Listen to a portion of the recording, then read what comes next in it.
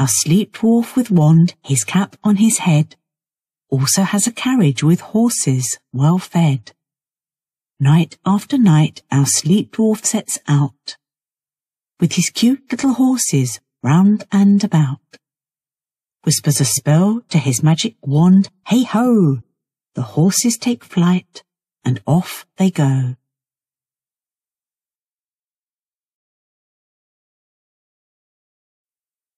What else does he carry?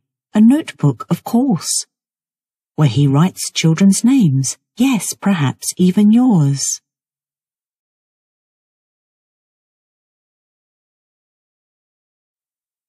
Whom did he visit? Whom did he miss? Whose turn is it now for his magical kiss?